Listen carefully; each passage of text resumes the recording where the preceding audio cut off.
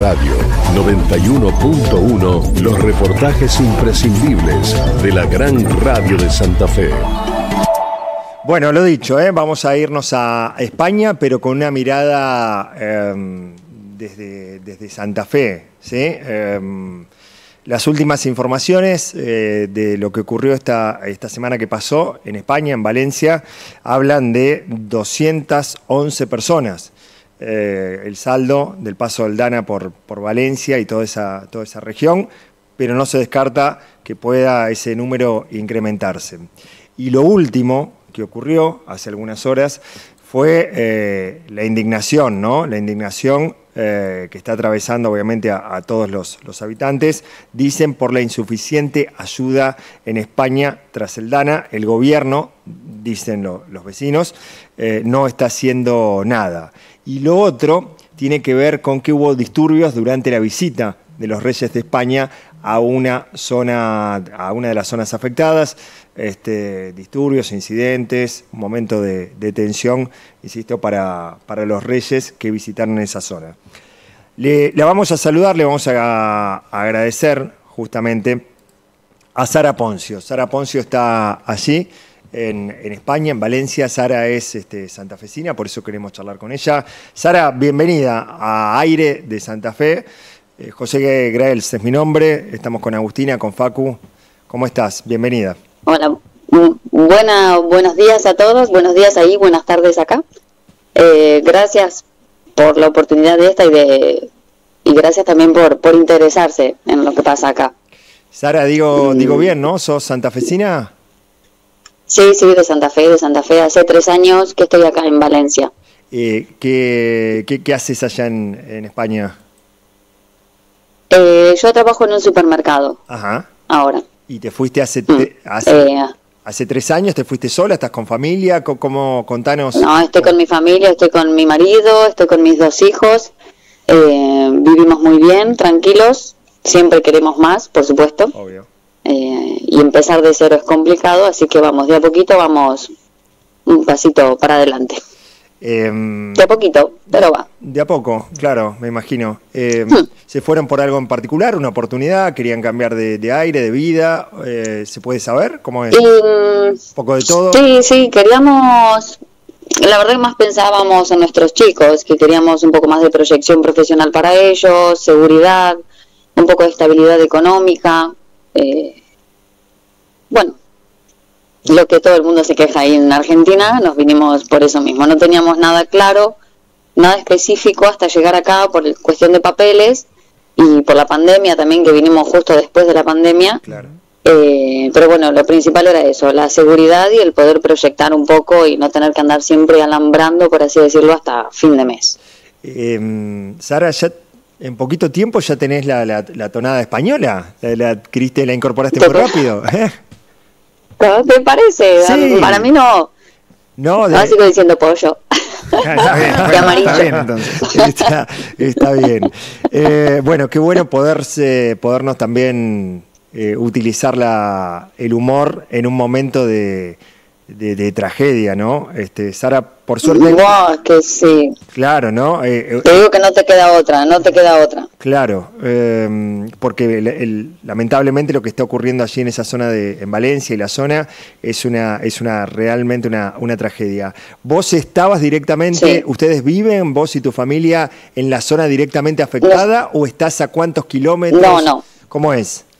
Eh, nosotros estamos en Valencia capital, y, pero estamos cerca de la parte sur, acá de mi casa a 10 kilómetros, eh, a 10 minutos, mejor dicho, 10 minutos, minutos. Eh, está todo la, el, el, caos. Es una, acá claro, nomás. sería como una acá localidad, nomás. una localidad vecina, digamos, es como si yo digo, estoy en Santa Fe y la zona Santa afecta, Fe, San... Santo Tomé o la zona de la Santo costa, Tomé. ruta 1, claro, una cosa así, para así. tener dimensión. Ah, eh, Sí, exactamente, es así, claro. es así. Eh, acá hace un montón de años cambiaron el, el, río Turia, que es el que cruzaba Valencia, eh, lo cambiaron hacia otro lado, o sea, lo derivaron hacia, lo, hacia otro lado. La y justo esa parte del río Turia, sí, claro. el cauce, le cambiaron el, el cauce, cauce, al río, claro. pasa por otro lado ahora, sí. Ajá. Y los pueblos que son pedaneos, o sea, está al lado, como te digo, Santa Fe, Santo Tomé cruzas un puente y estás en, en, estos pueblos, sobre todo Paiporta, que es la zona cero que le dicen, que quedó más afectada, porque el río pasa por ahí, divide Valencia de esos pueblos. Claro. Y eso em, eh, ah, ya ha pasado algunos días y mientras intentan reconstruir la zona, ¿eso eh, pudo, fue una de las causas de, de lo que pasó? Eh, perdón, repetime la pregunta. No, digo, pasados ya algunas horas del peor momento eh, y mientras se intenta reconstruir toda la, ciudad afectada, eh, esto que vos indicás, el cambio del cauce del río, pudo haber sido una de las cosas que desató esta, esta no, No. No, no, realmente no. Es como parecido a lo que pasó con el río Salado, ¿no? Porque si es la cantidad de lluvia que cayó, eh, y la masa de agua que, venía bajando. Si es como pasó con el río Salado. Si eso, si el cauce del río estaba en Valencia, lo que se inundaba era Valencia. Mm. Ya era lo mismo.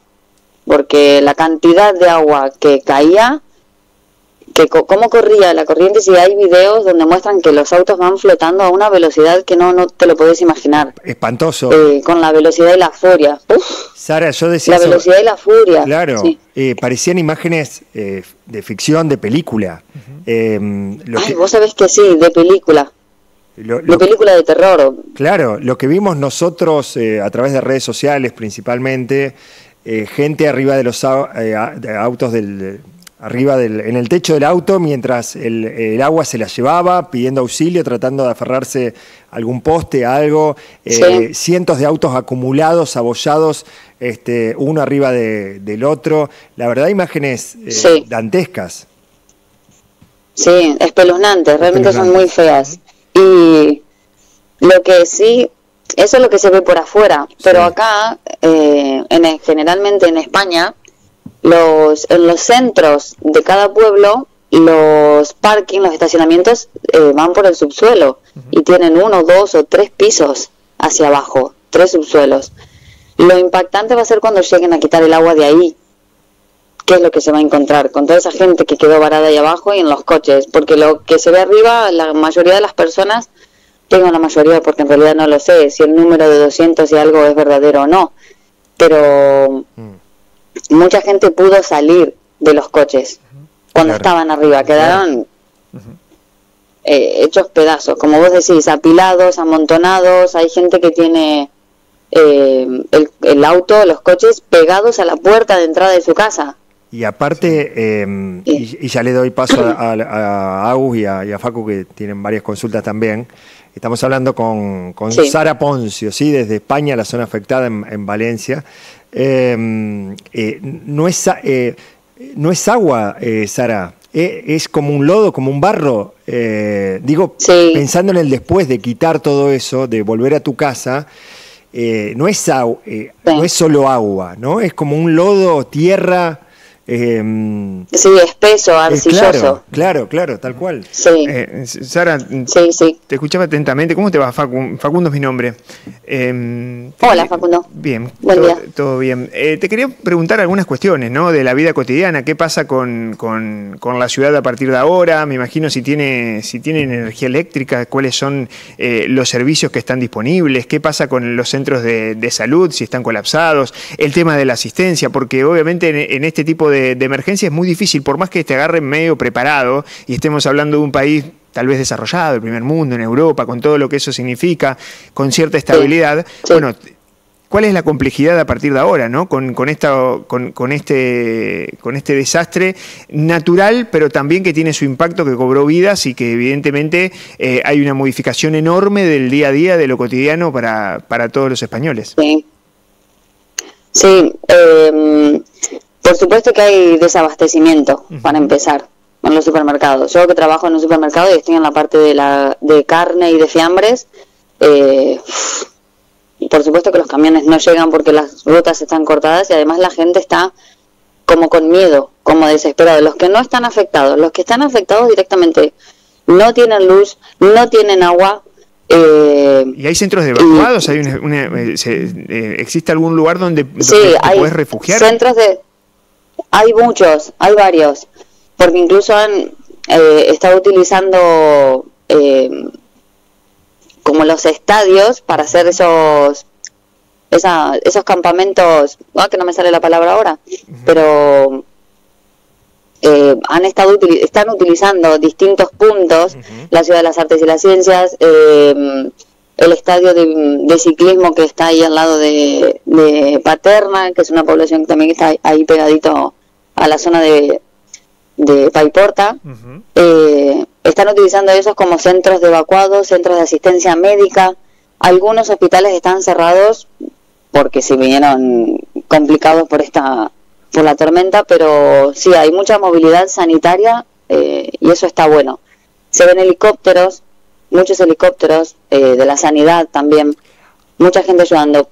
Sara, hay un, eh, por lo que puede decir el gobierno local y, demás, ¿hay un tiempo estimado, un mes, dos meses, que puede demandar poner otra vez a la ciudad en condiciones? Eh, la verdad eso? no sabría decirte, no estoy al tanto, porque mm, el tema político está siendo complicado. Claro. Como, como dijo tu compañero hoy, vino Pedro Sánchez y los Reyes y fue una locura. Eh, les tiraban barro, les gritaban cosas, eh, digamos que por momentos el gobierno brilló por su ausencia, incluso para que más o menos veas, el martes la gente ya a la mañana sabía que iban a pasar cosas porque estaba lloviendo muchísimo y ya se sabía que las tormentas eran muy fuertes. Eh, al mediodía, a las 2 de la tarde, cuando entré a trabajar, a todos mis compañeros de la mañana los hicieron ir, sobre todo los de esa zona, porque ya estaba complicada la zona. Y a las 8 de la noche, eh, la Guardia de Protección Civil hizo saltar alarmas en los celulares eh, para que cada uno vaya a su casa y no salga pero a las 8 de la noche, cuando eso a las 6 de la tarde ya había empezado. Claro. Ah, o sea, el, ah, ah, ah, claro, o sea que hubo una alerta tardío, hubo una alerta tardío, eh, o sea, los cuestionamientos tienen que ver con que faltó previsión. Con que brillaron, eh, faltó previsión e incluso falta ayuda, eh, falta ayuda, falta mucha ayuda, realmente. Acá se están desviviendo, incluso el pueblo valenciano es impresionante cómo se está moviendo. Ayer había colas y colas, una cola larguísima de voluntarios. Son las imágenes que se hicieron virales. La civilización común. Recorrieron el mundo, Sara, esas imágenes. La cantidad de voluntarios. Sí, pero es que era impresionante. Tenían que cruzar el puente para poder llegar hasta estos lugares y era una persona atrás de la otra. Miles y miles. Todos esos son voluntarios. Eso es admirable. Claro, son voluntarios. Voluntarios. Gente, que no, la, no le afectó el DANA y que quiere colaborar.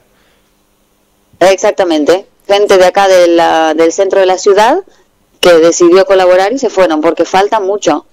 Además, digo, agarró a todos de imprevisto y el mismo martes yo me traje una compañera a dormir a casa porque no podía volver ya a la suya no tenía contacto con su marido, que porque se cortaron, el celular no funcionaba, la, estaba incomunicado. Y imagínate lo que fue esa noche para ella. Un espanto. Una locura, una locura. No, no una locura, no Sí. Para ir repasando un poco también esto que nos vas contando, porque también nos vamos enterando a través de tu testimonio cómo fue el minuto a minuto. Esto, mm, por, el, por el desborde, digamos, eh, hubiese sido quizás eh, difícil o no se hubiese podido prever, sin embargo, lo que sí se podría haber eh, previsto y que los daños no sean como son es la cantidad de víctimas que a lo largo de esta semana entonces han informado de manera oficial. Sí, em, y es difícil de saber si se podía prever en teoría sí, porque los que estudian los movimientos del agua lo deben saber de antemano. Pero, ¿cómo te lo confirmo yo? Sí, se podría prever, porque la gente ya lo sabía y la alarma fue tarde. Pero eh, no tengo...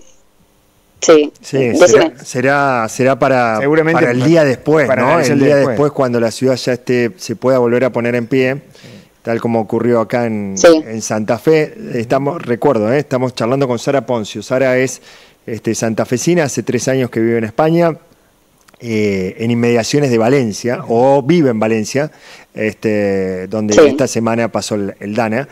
Em, Sara, yo te... Sí, para... Mm, para reflejar lo de, lo de Sara y la importancia de la comunicación, Sara, vos al principio de la comunicación dijiste, eh, fue salvando las distancias similar a lo del salado. ¿Vos te inundaste acá en, en, Santa Fe en el 2003? No, no llegó el agua a mi casa, pero quedó a una cuadra. Claro. no llegó. Claro, pero tenés la, presencia viva, eh, tenías la presencia viva de lo que ocurrió en ah. Santa Fe, claro. Con amigos, familiares. ¿Por eso lo relacionaste inmediatamente? Eh, sí, supongo que sí, pero mm, de todas maneras lo que se vivió acá fue para mí fue más complejo por la furia con la que venía el agua. Claro, sé, estamos hablando de cosas este, distantes en, en el saldo también, ¿no? si bien acá se habla eh, lo que ocurrió en Santa Fe de 25 o 27 personas este, directamente afectadas que perdieron la vida, probablemente sean más. Eh, pero lo, de lo, que vimos esta semana en España es este, realmente impactante. Pero, pero sí teníamos eso, ¿no? De que de, de alguna comparación posible, insistimos, salvando cierta distancia. Facu. Eh, Sara, eh, ¿cómo está la situación de, en materia de seguridad? Recién nos contabas que vos trabajás en un supermercado, muchas veces son lugares muy sensibles, cuando hay este tipo de, conmoción interna dentro de, una sociedad donde perdiste eh, prácticamente todo, para algunos casos puede haber algún tipo de, cuestiones complejas en materia de la asistencia social, la ayuda que nos llega y la impaciencia. Por Argentina tenemos eh, hechos trágicos. ¿Qué pasa en, España? Con respecto a los comercios, a la seguridad, a la inseguridad, ¿hubo problemas? Ah, sí, hubo problemas. Hubo saqueos, los hay todavía. Eh, hubo saqueos. Hubo saqueos. Incluso en el Bonaire, que es un outlet, un shopping outlet que hay que quedó también inundado, hubo muchos saqueos. en los supermercados que quedaron bajo agua, también hubo saqueos. Es igual, la situación es igual. esa cuestión que llevamos los humanos la tenemos en todos lados.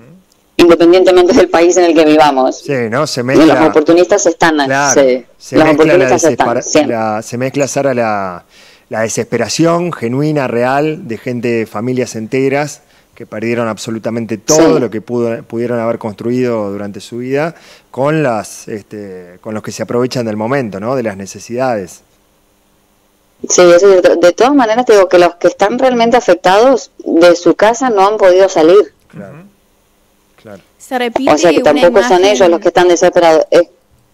Te, te, preguntaba, ¿se repite una imagen similar a la del 2003 o 2007 donde mucha de la gente lo que hacía era o tratar de subirse a los muebles, o la imagen que todos recordamos seguramente rápidamente de personas que se quedaban a custodiar su casa y que vivieron durante días eh, encima del techo de su propio hogar porque no querían, también como veían que se estaba saqueando muchas otras zonas de la ciudad, no querían que pase lo mismo con su casa. ¿Eso es algo que se está viendo en España? Sí, también. Eh, incluso ayer apareció una entrevista de una mujer que mm, que ella vive justo enfrente donde se desbordó el río y que le reventó la puerta de entrada y se mudó al primer piso que ya tiene una, casa con dos pisos y escuchaba que a la noche eh, le intentaron entrar dos veces. O sea que sí, es parecido. No sé si con tanta violencia como es allá, porque acá los robos incluso no son con tanta violencia y tanto eh, cizaña, pero, pero sí, han entrado han querido entrar acá. Intentan, la gente se queda en sus casas, se han quedado en los coches. Sara, eh, los, que, pudieron, sí. Te agradecemos por el contacto. ¿Qué, mm, bueno, qué, qué, planes tienen? ¿Planes este, familiares? Eh, la idea es seguir allá en, España. Eh, ¿Arrancaron cuando se fueron, cuando decidieron como, como familia irse y probar? ¿O dijeron nos vamos y, y nos vamos? ¿Cómo es la situación personal, familiar de ustedes? Eh, bueno, como te dije antes, estamos empezando de cero. Más allá que vayamos ya tres años, pero todo cuesta arriba y, pasito a pasito. Eh, nuestra idea era venirnos, venirnos y venirnos. Y ahora que vivimos acá, no nos queremos volver. Bien. confirmado. Es confirmado. Están cómodos, eso está, está, bueno, claro. Tienen, tienen empleo. Sí, estamos muy bien. Sí, se vive bien. Si realmente uno quiere, se vive muy bien, se vive muy bien, con mucha más tranquilidad, se disfrutan más ciertas cositas. Eh, sin ir más lejos, te cuento una anécdota personal. Yo trabajo acá 20 minutos de mi casa y me voy en un patinete eléctrico. Claro. Y durante la semana salgo de trabajar a las 10 de la noche y me voy con el patín como si nada.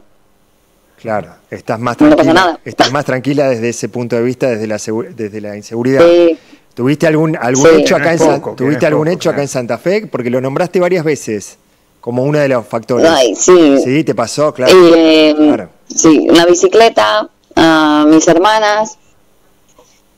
Claro. Sí. Lo, Además ahí... lo tenés vivo, digamos, presente, porque me, llamó la atención que lo mencionaste en varias oportunidades. Muchas la cuestión de la tranquilidad, sí. Sí, sí, sí. Además nosotros tenemos bicicletas y los cuatro nos movemos en bicicleta y por ahí a la noche, los días de verano que está lindo, salimos a andar en bicicleta a las 10 de la noche y no pasa nada. ¿La tranquilidad tiene que, ver con la seguridad o también tiene que ver con un factor económico? También. ¿Cuánto, también. ¿cuánto debe la seguridad y el factor económico? O, o cuánto es la jornada laboral que tienen en familia y cuántos sueldos son para poder vivir tranquilamente en España. Y acá tenemos dos sueldos. Dos sueldos, el de mi marido y el mío. Son los sueldos base, eh, los sueldos básicos. Eh, 1.200, 1.300, depende del mes y depende de los objetivos que cumplamos, porque también eh, vamos con objetivos incluidos. Eh, y tenemos, alquilamos nuestro piso, tenemos nuestro coche eh, y vivimos bien, los chicos van al colegio desde las 9 de la mañana hasta las 5 de la tarde, con el comedor incluido y todo, y se vive bien, se vive bien. Sara, eh, gracias por, por, este ratito, por contarnos lo que está, lo que está pasando allí en, en España. Y, bueno, este, hay, hay, mucho por hacer, obviamente, mucho por, por reconstruir para toda esa cantidad enorme de, familias afectadas, así que eh, fuerza para lo, que viene, que no es una tarea menor, ¿no? Recién esto está ocurriendo. No, va a ser duro, va a ser duro. Tal cual, va a ser duro. Va a ser duro, va a ser duro. La recuperación va a ser dura y larga. Larga, tal cual. Me parece, sí. Sara, un gusto y gracias por, por este contacto con Santa Fe. Chicos, muchas gracias a ustedes por el espacio. Que tengan lindo domingo. Sara Poncio, es Santa Fecina en Valencia, contándonos los pormenores, ya han pasado algunas horas, pero insistimos con un montón de, imágenes que se siguen reproduciendo, que siguen siendo impactantes de, este desastre, que en números oficiales tiene más de 200 víctimas fatales. Números oficiales se presume que eh, pueden llegar a ser mucho más y todo un desastre que ha quedado para, para esa zona. Ya volvemos, separamos y volvemos algo que decir. Muchas noticias por analizar. Siempre queda algo por decir. Imperdibles en el túnel. Marucha de ternera kilo, 5.990. Fideos matarazo, 500 gramos, 1.050. Coca-Cola, 2 litros y medio, 2.990. El túnel, el precio justo siempre. Son solo seis pasitos, 15. 6, 5, 4, 3, 2, 1, 15.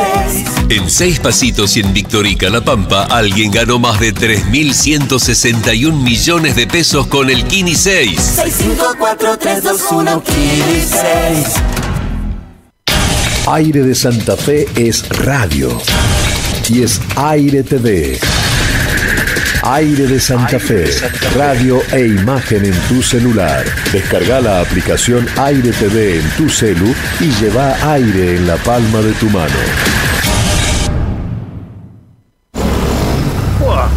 Comprate la nueva Tornado, ¿viste?